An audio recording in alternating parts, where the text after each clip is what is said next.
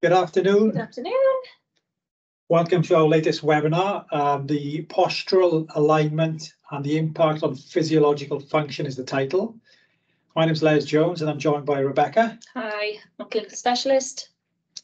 Um, just to let you know while we leave people in, we are taping the session. So please make sure your microphone and your cameras are switched off at all times. Um, just to let you know as well, our colleague Kim is working in the background monitoring chat. So if you do have any queries or any issues on either content or technical issues, just please use the chat feature and Kim will try to resolve your issues or send you in the direction of a link that'll provide you with an answer. Um, finally, Rebecca wandered away to, to load up the, the presentation. Um, the follow-up from this will be a copy of the presentation plus a link to a copy of the, um, the recording as well, so you can share with friends who may not be able to make it at this present moment. Um, I think that's it for me, Rebecca, if you're ready. Yep. I'll just pass you to Rebecca and I shall see you in about half an hour, 40 minutes to do a little bit of technical or practical with, with, the, with the chairs in the room here. Thank okay, you, Thank you. Brilliant. Um, so as Les said, we're going to start with the presentation, a bit of theory around postural alignment and its impact on physiological function. Um, and then we'll um, get Les to join us then and come back and consolidate some of that theory into a practical element, looking at the seating solutions in action. So what we're going to do is review physiological function and what we mean by physiological function, discuss the impact of posture and link this to seating provision. Um, and throughout, we'll be giving you some hints and tips on how we at Careflex can help. Now, the alignment of posture is far more than just a structural or aesthetic concern. It's actually a foundational aspect of physiological health. So hopefully we'll give you a practical guide to help elevate your clinical practice out in the real world. A physiological function um, happen when specific organs and their subsequent systems engage in specific actions. Um, it generally includes a structure and a process. Now, the structure could be a single organ, whole organ systems, or even specific tissues. What we're going to focus on today is respiratory, circulatory, um, the gastrointestinal, so the digestive tract, nervous system and musculoskeletal.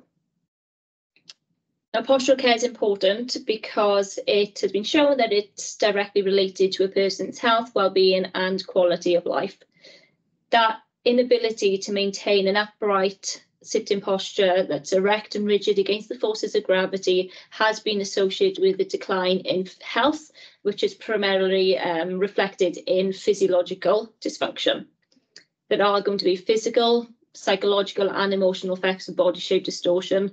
And sadly, poor postural care can have severe and life-threatening consequences. Hopefully this session, we're going to highlight some of the risks and impacts um, of posture with regards to physiological function and a person's overall health. Failure to protect the body structure can result in significant secondary complications related to physiological dysfunction. So things like pressure on internal organs, difficulty breathing, cardiac inefficiency, digestive system issues, tension on the nervous system, and even pain and discomfort.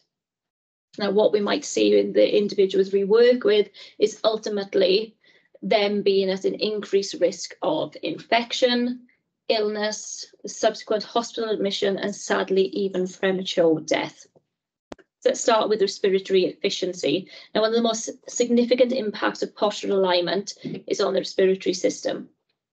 When we are able, or when the individuals we work with are able to maintain this upright aligned posture with an open shoulder girdle, um, it can facilitate optimal lung capacity and oxygen exchange. Now, in contrast, a slump posture, so where we might see individuals with trunk leaning or an increased thoracic kyphosis, um, we'll see compression on the thoracic cavity, which can limit rib expansion and diaph diaphragmatic movement, ultimately reducing oxygen intake.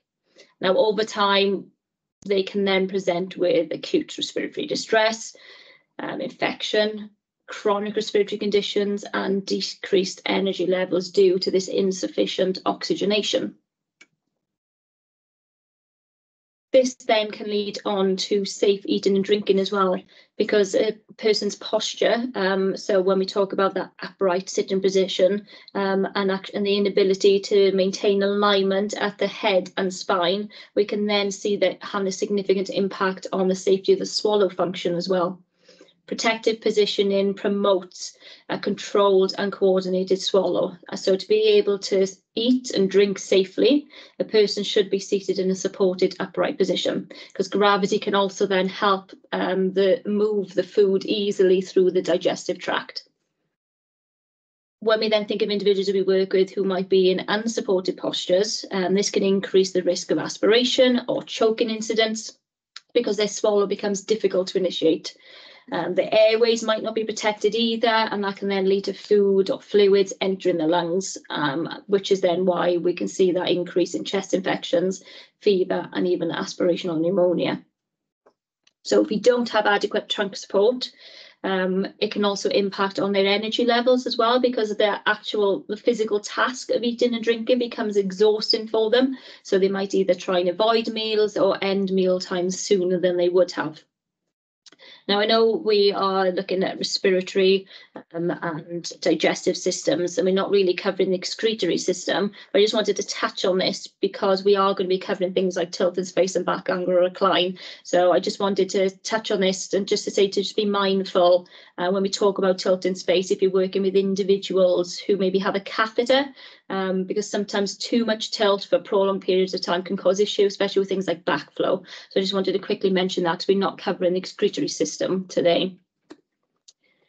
So when we talk about um, postural care and circulation, um, it actually plays a significant role in circulatory health as well.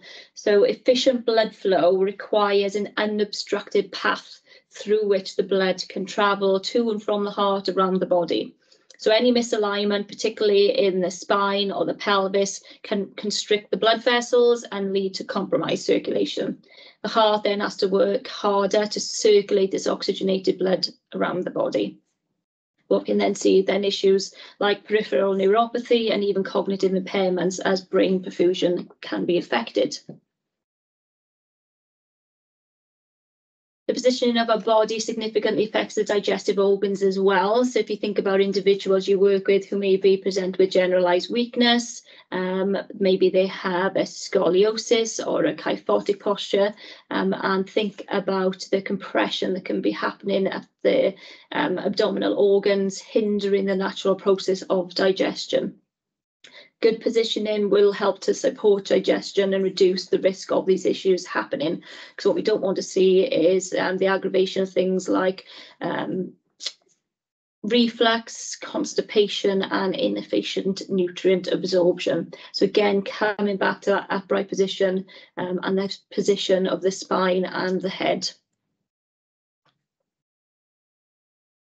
Therapeutic strategies that address postural alignment, such as well, um, specialist seating solutions, can have far-reaching benefits beyond those physical health as well.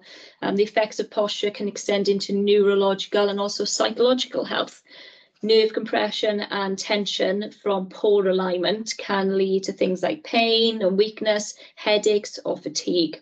And psychologically, as we know, this will influence uh, an individual's perception and mood as well, with slouch postures actually being linked to lower self-esteem and higher rates of depression. And then finally, we have the skeletal and muscular system. Um, it tends to bear the brunt of poor postural habits because chronic misalignment places uneven stress on bones, uh, joints and muscles. And then what we can see is inactivity and an increased risk of injury. It can also exacerbate long-standing conditions like osteoarthritis and low back pain, especially if we work with individuals who maybe have comorbidities um, or chronic long-term conditions that might be impacting on their ability to sit out comfortably because what we can see is significant pain and discomfort without adequate support. So we have to be really mindful of those who are already um, presenting with pain management issues, maybe somebody who has spasticity and the pain related to that. So we just need to be mindful of, of those extra challenges um, and how we maybe prioritise comfort in these cases Um, it's often we always talk about compromise when it comes to postural care, and sometimes we need to think about what the priorities for the individual are and align those with our clinical objectives. Um, comfort is one thing at Careflex that we um, prioritise always, um, just because it really comes down to compliance with a piece of equipment. If the individual isn't comfortable in the chair, they're simply not going to use it. And we're definitely not going to achieve our clinical objectives. So they have to be on board and compliant and comfortable within the chair. But the good news is that body distortion is not inevitable, and with the right equipment um, and positioning techniques, we can help to protect body shapes. This is all about being proactive with our approach, identifying risk, because we can protect the body structure um, and promote longevity, because this is a key preventative measure to reduce the risk of all those secondary complications that we've mentioned with regards to their physiological health. So when we talk about being proactive and identifying risk, we can break this down into four different categories. We've got those, of course, who lack the physical ability to change position independently. But there's also those who lack the cognitive awareness that they to know that they need to change position. Maybe someone with a diagnosis of dementia who is unaware that they might have been sitting down for the last six hours and haven't readjusted themselves. We've also got those who lack the communication skills, so they know they're uncomfortable, but they can't convey that, they can't relay that information to ask for support to change position but also those who lack the sensory feedback. So tapping into their neuro neurological system as well. They don't have the sensory feedback to maybe know that they're uncomfortable. So thinking outside of the box, not just waiting for somebody to present with obvious, clear and obvious postural charge in front of us, actually identifying risk and who might be at risk of uh, postural of developing postural challenges so that we can get interventions in at the right time um, and getting it right the first time as well. Now, what I wanted to do was focus on some of the most common postural challenges that we might come across within our clinical practice that challenges uh, physiological function and might have an impact on their ability to um, um, to ensure optimal physiological function.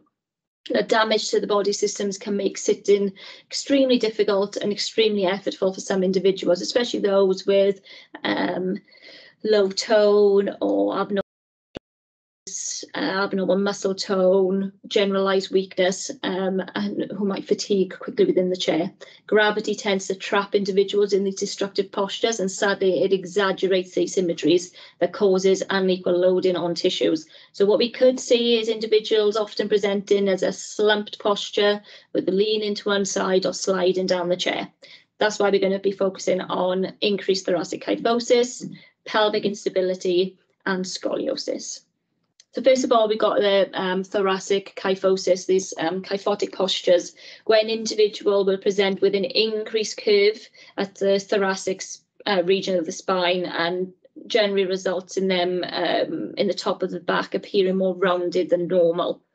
Now, it tends to be associated with other significant postural challenges, and you'll see that's a theme throughout. We don't tend to just see one postural challenge. It tends to be a whole body system approach. So just be mindful of the associated postural challenges. And if somebody presents with a clear kyphotic posture, for example, then take it back to the basics and check the pelvic positioning as well to see what might be influencing it.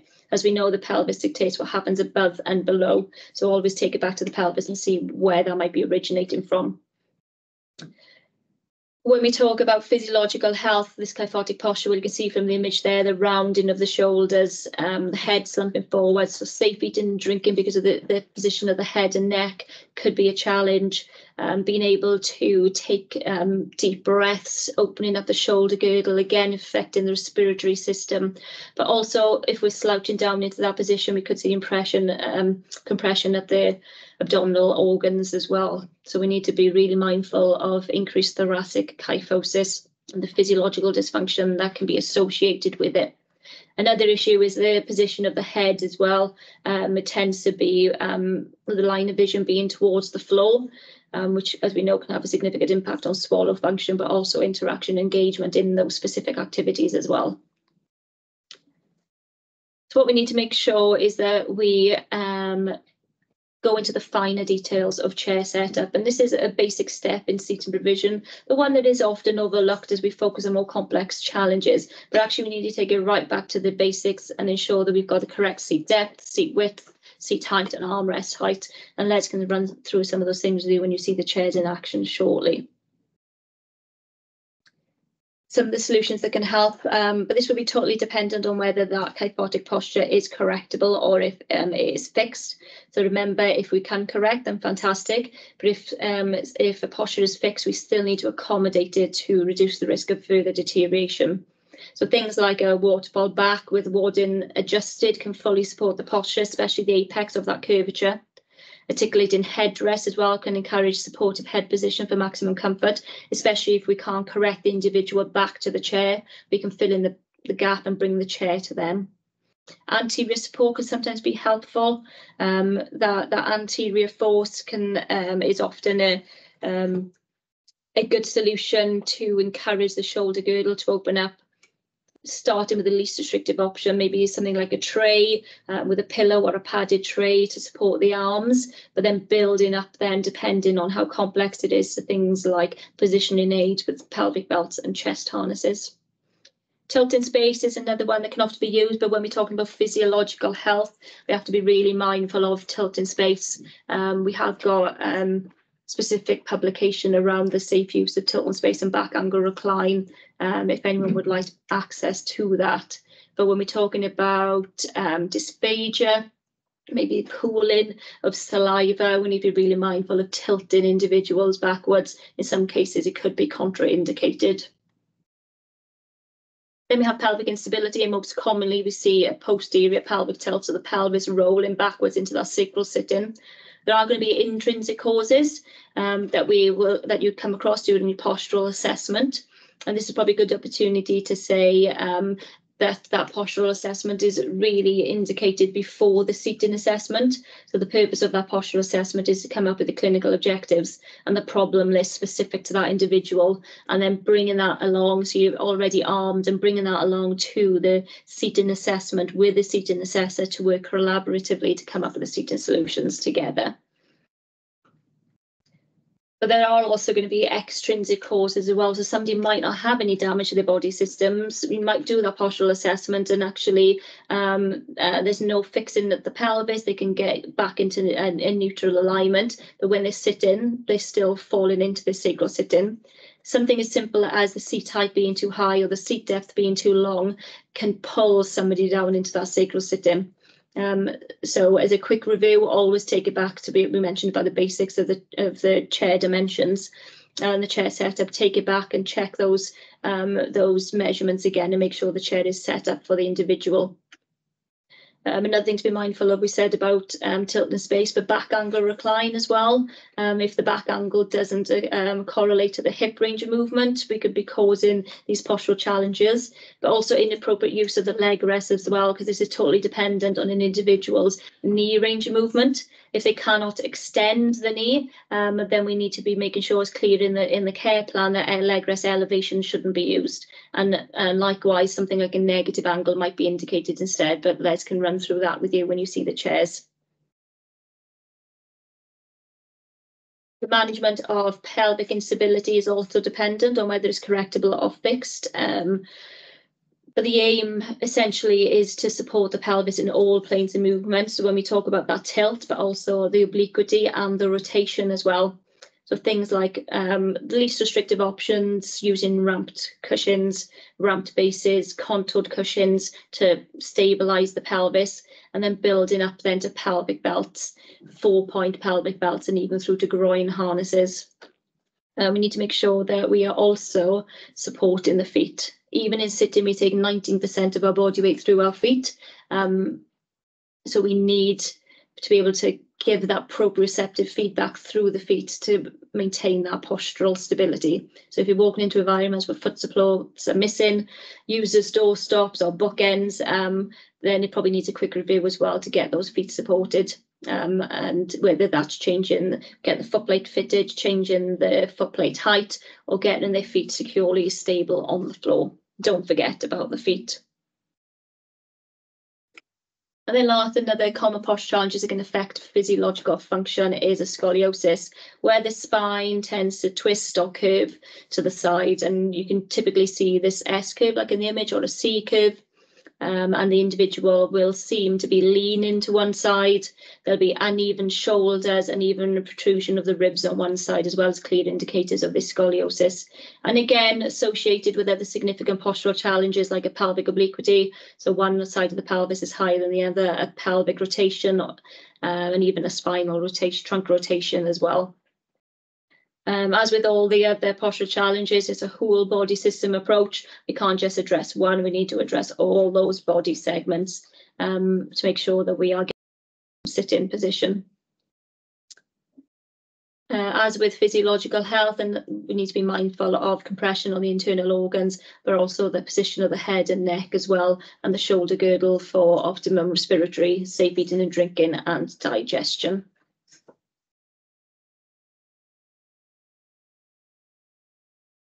Some of the things that can help with the scoliosis, um, of course, making sure there's appropriate chair setup and seat dimensions, ensuring that pelvic stability, but we also need to then look at multi-point lateral trunk support to encourage as an aligned position as possible. Mild scoliosis can typically be well managed with two-point lateral support, but then if we're working with individuals with more complex or moderate to severe scoliosis, we may then be looking at three point or even multi point lateral support. So something like a multi adjustable back on the SmartSeat Pro 2, um, which you see shortly, and moving in all the different planes of movement to fully support the back if we can't correct it. Okay, so in terms of physiological health then, and when we talk about the role that specialist seating plays within this 24-hour approach, um, just some key clinical objectives to be mindful of. We, of course, want to prioritise healthy postural habits. We want to enhance the individual's capacity to engage in daily activities. And we also want to improve overall health. And we do that by having a clear understanding that effective specialist seating provision is a cornerstone of this approach. And it serves really as a powerful mediator between physical and psychological health just want to touch upon the fact that special seating is only um, a key is only one part of that because we always address postural care from a 24 hour approach. So when we talk about daily life and integrating the chair into daily life, we also need to then think about all the other equipment and all the other postures that need to be adopted as well. And that, that there are different objectives for each position or posture or equipment that's used so that we are achieving this regular change of position, which has been shown as one of the most important ways to manage postural care, but also pressure care as well. So what does this actually look like in clinical practice for us out in the real world? What strategies do we need for optimum postural care? So first of all, it's all about the comprehensive assessment. So that's both the history taken and the objective assessment as well. And remember that that postural assessment is generally indicated before the seating assessment so that you determine the problem list and then work collaboratively with the seating assessor to come up with the solutions together. It needs to be a multidisciplinary holistic approach as well. So this is to make sure that that management plan is effective and targets all areas from comfort through to safety and independence, whereas physiotherapists might be looking at protection of the body structure and the joints and the soft tissues. And we might have speech and language therapists then focusing on safe eating and drinking, for example, occupational therapist then having a look at occupation, um, activities, engagement, um, and um, and typically the social interaction that's, that's needed for well-being and living a fulfilling life. We need to then think about the prescription as being individualized. As we know, every individual's body is unique, so are their postural needs. So specialist seating should be adjustable, should be customizable to fit to the specific contours and shape and size and requirements of each person. So considering factors, just to reiterate really, things like seat height, seat depth, seat width, but also the angles then of specific functions like back, um, back angle recline and leg rest elevation. It's then thinking about the seating solution as a whole system um, and how we target all those body segments then starting at the basics but working our way then through functions and accessories and some of maybe the tailored approaches that might be needed. And maybe we can touch upon that tailored um, solution service as well um, when we look at the chairs. And then it's about that integration with daily life that we've mentioned. So seating solutions that we put in place should always facilitate and not hinder daily activities. So asking ourselves, what does this chair actually need to do for the individual and for their caregivers? Thinking about their lifestyle, their activities and the environments where the chair will be used. The goal is ultimately for them to be compliant with that piece of equipment so that we can then achieve our clinical objectives about working together um, and making sure we target all those areas without compromising on postural care um, and physiological health. We then need to think about that ongoing support and adjustment as well, thinking about future proofing of the chair, the longevity um, of the chair in place and getting it right at the first time. We need to probably very different. I know we, we, probably all come from different specialties um, and different teams where some of you probably get a referral as a case by case basis. You do that piece of work and then they discharge from the service. Um, some of you will have individuals on your caseload for months or even years where they're in a clinic system and they're rotated around so they're reviewed regularly if you don't have the um, the luxury of having this clinic setting where you can have review a, a robust review process in place, I would just be mindful of making sure that your care plans are comprehensive and there, that there are a list um, of risk factors or different things to look out for that would prompt the individual or their caregiver to re-refer or to seek support. Um, for example, a checklist of um, are you noticing new red areas? Um, is the individual um, complaining of new pain? Is the individual fatiguing quickly? So they know that if any of these things are, um, are changing or there's any new postural challenges being identified, they know how to re-refer back into the system. And if they can do that in a timely manner, then hopefully that makes the complexity of your work simpler as well, um, and hopefully stops future re-referrals because you can target that as quickly as possible.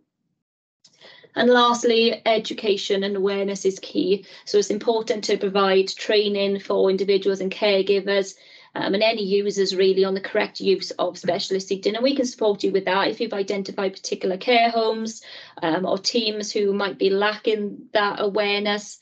Um, then we can certainly support with the education aspect if that's needed, um, whether that's a hand-on approach on specifically how to use pieces of equipment um, or raising awareness around the importance of postural care and physiological health.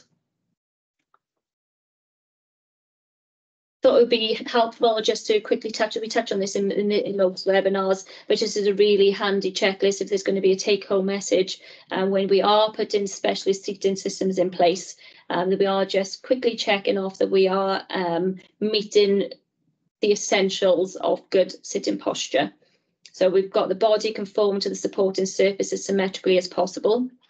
Body weight is distributed equally over the maximum surface area um, the body is balanced and stabilized, but it can also adjust to change. So an individual, for example, can still reach outside of the base of support um, to engage in activities and stay safe and stable within the chair. The upper limbs are free from that load bearing role and they're not clinging onto the arms of the chair or digging their elbows into the corner of the chair. And then, of course, all the body segments, even to the feet, all the way through to the head, are fully supported and aligned as much as possible. And when it comes to physiological health, as we know, we're thinking about the pelvis, the spinal profile and the head position. Just wanted to highlight some of the further um, educational resources that we can support you with. We, I know 45 minutes isn't a long time to get, there's a lot of information to get through, but we've got a wealth of information on our website.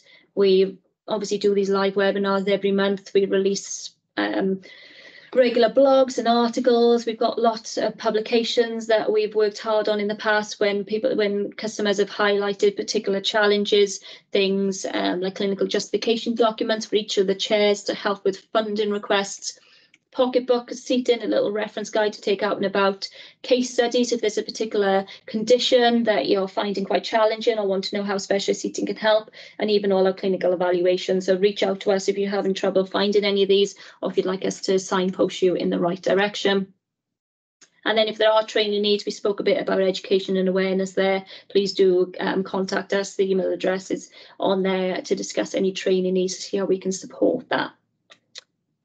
I think it's always good to finish with a case study to really consolidate all that theoretical knowledge and put it into practice. So um, I want you to, to, keep in mind this lady when we go through the chairs um, and go through the seating solutions. 76 year old lady with dementia, um, still lives at home with her husband semi-ambulant, um, able to transfer into and out of the chair with support, um, but generally adopting this very typical position throughout the day, fatiguing quickly, generalized weakness, resulting in this in this slumped posture, unequal loading on the tissues, and of course affecting physiological function because of the position of the pelvis, the spine, and the head. Um, so recurrent infections being the most obvious um, issue being highlighted. So keep in mind this lady while we go through um, and chat them through with Les. Okay. Thank you, Les. Okay. Yeah. Um, so first and foremost, I'm going to focus on the one chair that we um, supplied this lady with after the assessment process. But I want to go through the almost the elimination process, if you like, the pre-assessment questionnaire, the conversation we have with a healthcare professional prior to you know turning up with a chair to try. So typically we want to know um, any clinical uh, aspect that may affect this lady's seating assessment. Um, so from that discussion, um, we discounted the, the SmartSeat Pro, um, had a lot of the features we're going to need for this lady for pelvic stability. Uh, we can adjust the seat width, the seat depth, angle adjustable foot plate. But one of the key issues for this lady was she needed she needed to maintain function. She needed to maintain that ability to stand to transfer away from the chair. And this chair isn't the greatest for that requirement. Also, um, the back section, four sections multi-adjustable, was a little bit over complex for um, for the lady. We had tilt in space, uh, back angle recline, but it just wasn't quite the right chair. So that led me to slightly um, simpler chair in terms of postural care. That would have been the multi-adjust. Just bring this chair to four. And again, a tilt in space chair with back angle recline we have seat width adjustment, seat depth adjustment, again to assist with that pelvic stability. Tilt in space to help with fatigue management. And what I'm showing the chair with here is, is a contoured back just to help prompt that lady to sit in that midline position. Didn't really need anything that complicated. Um, to adjust the seat width on these chairs, built in, tool free, simply move the arm in and out, just the seat height, or the arm height.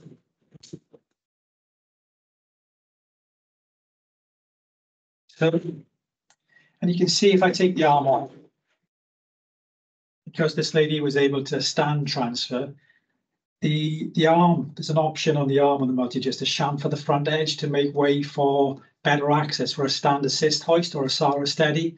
So we can get the hoist in that little bit closer.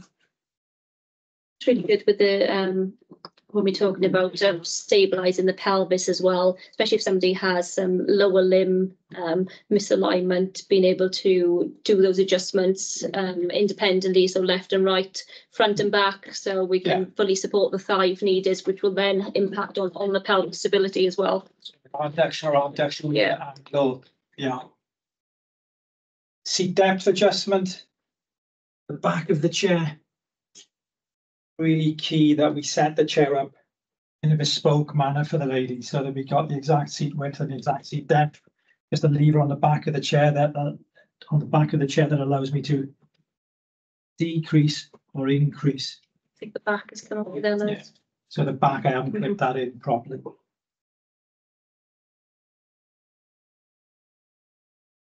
Tilt in space, we needed a little bit of back angle recline as well. Just to help accommodate fixed, uh, fixed angle at the hip. What's a- another feature on the chair that lend, lent itself to providing that independent transfer or that assisted transfer, stand transfer, is that we can recalibrate the tilt in space so that the chair tilts forward slightly so that the chair will bring this lady's feet flat onto the feet floor. especially in combination with negative angle leg rest then as well to really get that um, strong foot placement um, ready to push themselves up into standing. So we can tuck that leg rest away almost underneath the seat. So all was well up until we got to that point. Now, where we started to struggle was um, the kyphosis this lady was developing, and it was a fairly fixed kyphosis. So we needed an articulating back section. So we couldn't bring the lady back onto the support surfaces. We needed to bring the support surface out to the lady to accommodate that posture. Couldn't do that with this, this, this version of the chair, but we've just launched the multi-adjust advanced. So all the same features on this chair as the, the standard multi-adjust from the hip down. Where it differs is that we have the ability to angle top section of the head, so we can now accommodate this lady's posture. Use a little bit of tilt in space then as well to bring this lady's eye line up, because at the moment it's very much into a lap. While you're on tilt in space there, you can point out the, the fabulous inclinometer there. So this is a gauge here, an inclinometer that we can use to measure tilt in space. So for example, if, you know, lunch, eating, digestion, we want to be in a fairly upright manner posture. Perhaps we may need to use a little bit of tilt in space for fatigue management just after lunch.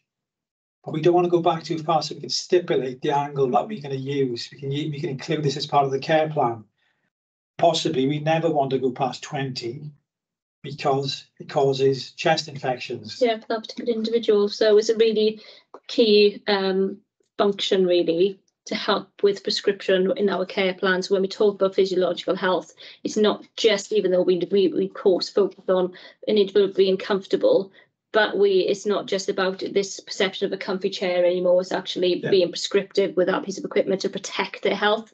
Um, and in some cases, we need to be really mindful of tilt in space and the angles that they can tolerate safely. Um, so yeah, a really critical part of the chair there. And you're mentioning comfort there as well. It's key for us at Careflex that we include comfort as part of the assessment because however well we support somebody's posture, unless that person's comfortable in that posture, it's not really going to work as a solution. There's, you know, it's going to be a lot of negativity about wanting to use the chair.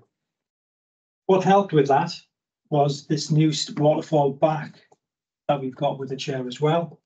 Helped to absorb that kyphotic profile can use adjustable laterals. This lady didn't need adjustable laterals, but if need be, if things were to change, we could pop those on the chair as well. Yeah, what we what what you find, especially if you're working with individuals who present with these leaning, slumped postures where gravity is really taking effect, um, then the same principles take it back to the pelvis as the foundation for sitting. And what you might find is by offering that pes- pelvis stability, so you get that proximal stability, you have improved distal control, um, and you might find that actually they manage their energies energy levels a lot better because those body um, the body segments are now working more efficiently. So um, I mean, obviously, in some cases, um, some individuals are going to need trunk alignment. They are going to need support to centralize their position. But sometimes, if just fatigue is the issue, if we get pelvic stability and manage it through other um, rest and recuperation, tilt in space, or change of position, then you might find they don't actually need that trunk support and they can actively engage in the sit-in by We themselves. don't want to de-skill. No, really. definitely. Um, pressure care in the seat surface as standard on this chair, so that's our water cell technology.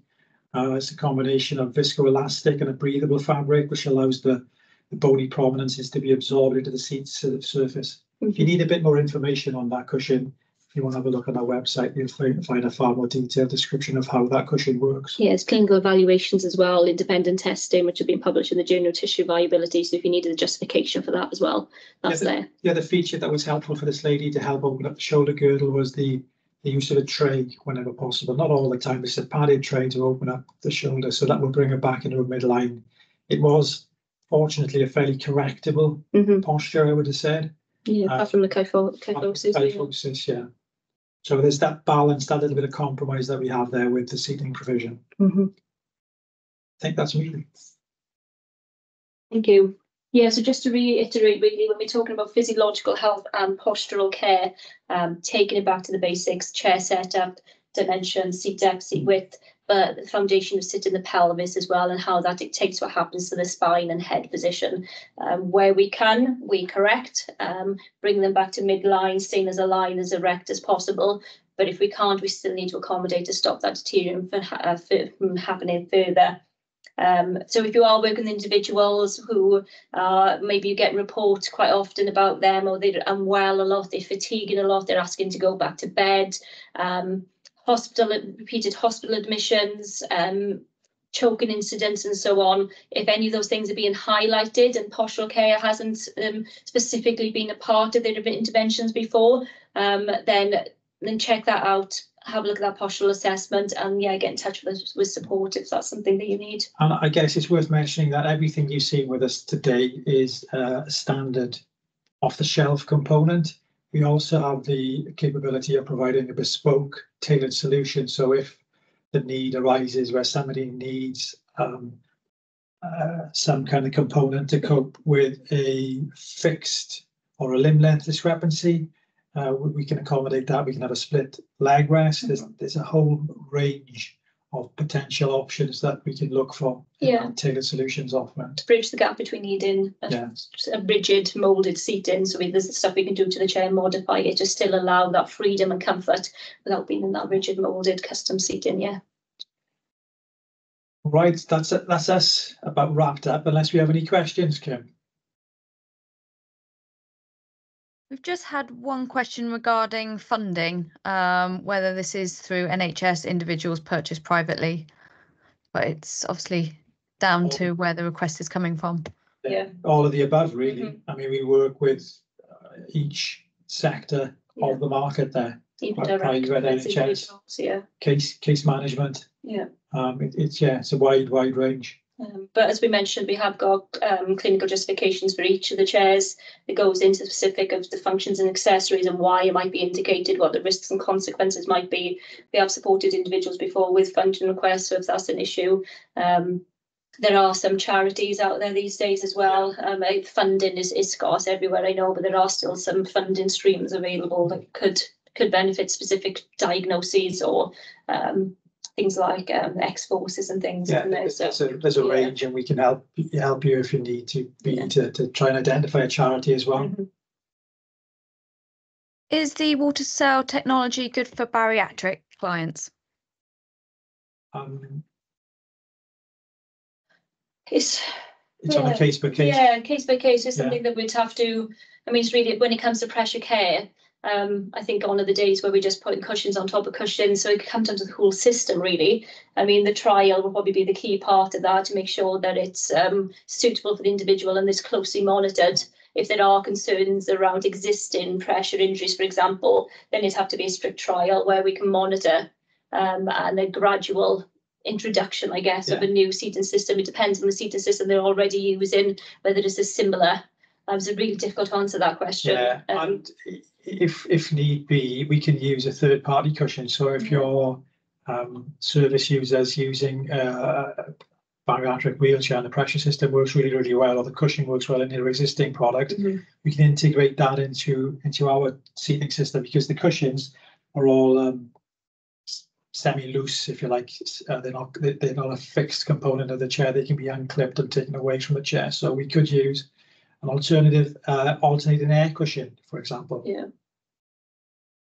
Yeah, it's difficult to answer, depends on the individual, but um, it's certainly something we can help with if we knew more Yeah. information and um, can discuss, that, especially when it probably comes to weight limits as well. It might be something to Yeah. to consider. Okay, uh, we've got another one. Can the foot plate be adjusted if the client has one foot resting higher than the other? Yeah, that would be an example of, um, if I'm reading the question, right, a tailored solution. So, That discrepancy. yeah, so it's a limb length discrepancy. So what we would then do, I don't have an example with me today, is to incorporate a foot plate pad. So one would be slightly higher than the other. Uh, if we're talking about ranges of movement at the knee, we do a split leg rest offering for the, for the HydroTilt. You can imagine it would be a half. Yeah. Like a stepped. And either, either be a soft, you know- if you've got somebody with plantar flexion or dorsiflexion and the feet are rolling out, you may want to use a soft cushion to try and avoid any high pressure points. Or perhaps um, a, a, a firmer foam, if you like, a chip foam to provide a little bit better level of Proprioception. proprioception and feedback for that client, yeah. The foot plates are angle adjustable as well. Do you provide any paediatric specific training?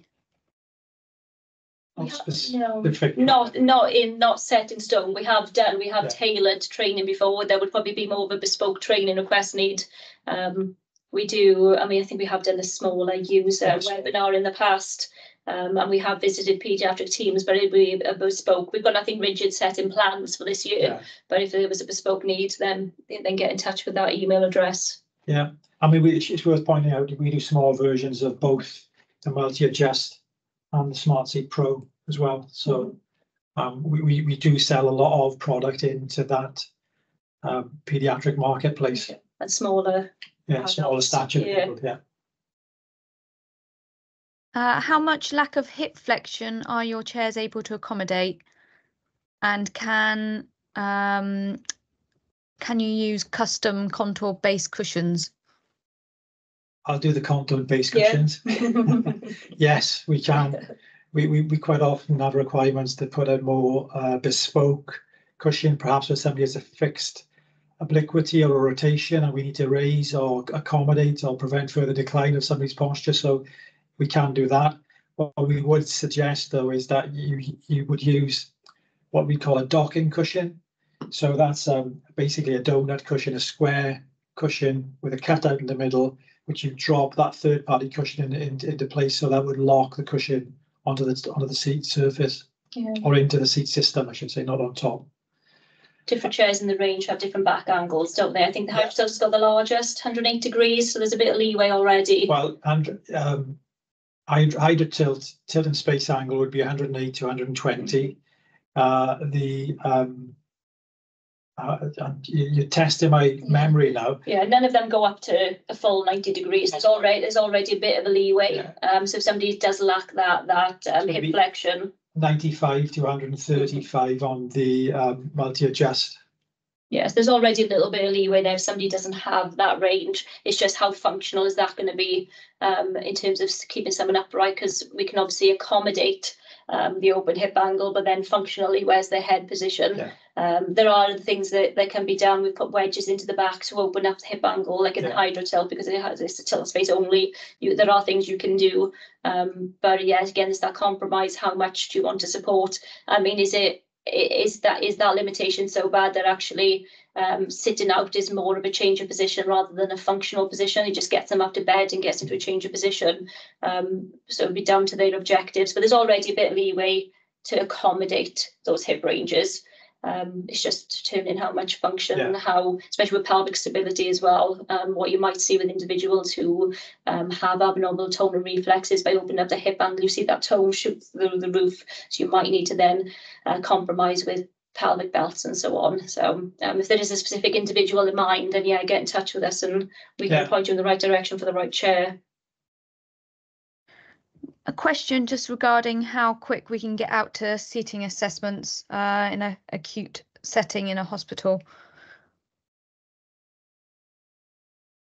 You know, looking at my diary here, but Yeah. I mean, we would We've got different attempt. seating assessors around the country, Yeah, we? So It, it depends on workload, but I'm sure that um, on requirement, if it's desperately urgent, we would try to work something in within within within five working days. We're quite fortunate that we've got seating assessors in all the regions, so um, there should be someone nearby at a at a particular point. Yeah. With regarding the water cell technology, what um, category of pressure damage can it go up to, pressure care? Uh, well, Medical Devices Agency have said um, medium to high risk um, is what the um, the kind of the clinical evaluations are saying, but again, it's going to be on an individual basis. Um, we have had um, success with some individuals who are, who are very high risk, um, and likewise, some individuals have needed third-party cushions because they haven't Depends Got on the contributing factor, doesn't it? Yeah, yeah. How's the care team in managing um, the use of it? How would the functions and accessories play into that? Um, but from a strictly medical devices agency, medium to high risk is the It's the the official. It's the rate. Yeah. Yeah.